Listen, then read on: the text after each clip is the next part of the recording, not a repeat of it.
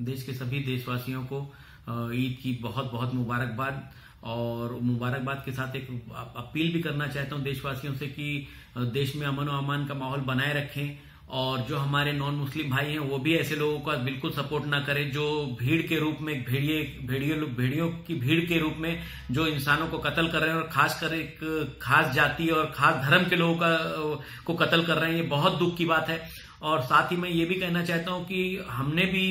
700 साल हुकूमत की है, मगर इस तरह का माहौल कभी नहीं रहा पिछले तीन साल में जो माहौल देश में बनाया गया है, और एक ये सोची समझी साजिश के तहत है। और मैं तमाम भाइयों से अपील करना चाहता हूँ, जो इस ईद की खरीदारी में लगे हैं और इन सब में लगे हुए हैं, वो थोड़ा सा अवेयर हो कि जो जिस तरह से एक बच्चे का कत्ल ट्रेन में कर दिया जाता है, किसी को घर में घुस के कत्ल कर दिया जाता है, किसी को किसी बहाने कत्ल कर दिया जाता है तो ये मामला आपके बेटे, आपके भाई भी लोग बाहर सफ़र करते हैं, आपके बेटे भाई के साथ भी हो सकता है तो आप इसको इसको इतनी मतलब इसे ऐसा ना ले कि किसी गैर का मसला है, सब तमाम इंसानियत का मसला है। और मैं एकदम से खुले अल्फाज में कहना चाहता हूँ, अगर उनमें दम है तो खुल के बात करें। इस तरह से एक एक बच्चों को कहीं पाते हैं अकेले में और उनको अब शिकार कर लेते हैं, कहीं ट्रेन में कर रहे हैं, कहीं घर में पढ़ रहे हैं।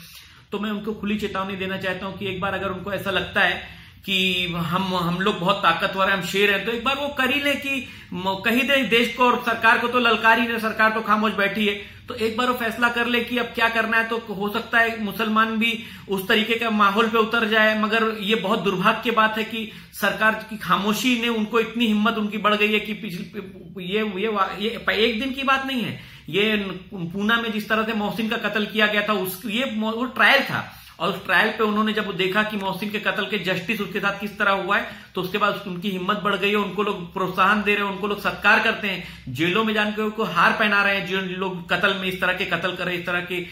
मुसलमानों कत्ल कर रहे हैं। तो ये बहुत दुख की बात है और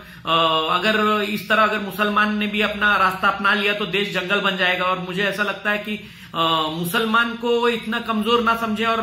और मुसलमान के लिए मैं खुद कहना चाहता हूँ कि मैं खुद एक मुसलमान होने के नाते कहता हूँ कि मुझे ऐसा कभी कभी लगता है कि हमारी जो पीढ़ियाँ थी, उन्हें बहादुरों के नाम से जाना जाता था, उनको तारीख में लिखा जाता था कि वो बहादुर थे, उन्होंने बहादुरी से कई हर वक्त का मुकाबला किया और हम, हमारे बारे में इस तरह लिखा जाएगा कि हम एकदम बुजदिल थे और हुक्मरानों के तलवे चाटने वाले थे। मैं तमाम मुसलमानों से भी अपील करता हूँ, तमाम देश की जनता से अपील करता हूँ कि इस तरह तलवे, इस तरह से भक्ति ना करें और इस तरह तलवे ना चाटे। कातिल कातिल होता है, चाहे वो किसी भी इंसान का कत्ल करने वाला हो। तो इस पर ज़रूर ध्यान दें और मुसलमान और हिंदू भाई जैसे लोगों का अपोज करें और इस हालात को समझें कि ये लोग की, जो कुछ लोग हैं जो जंगल राज बनाने की उनकी साजिश चल रही है और इस देश को बर्बाद करने की साजिश चल रही है। इसको समझें और इस बात के साथ मैं अपनी बात खत्म करता हूँ। जय हिंद।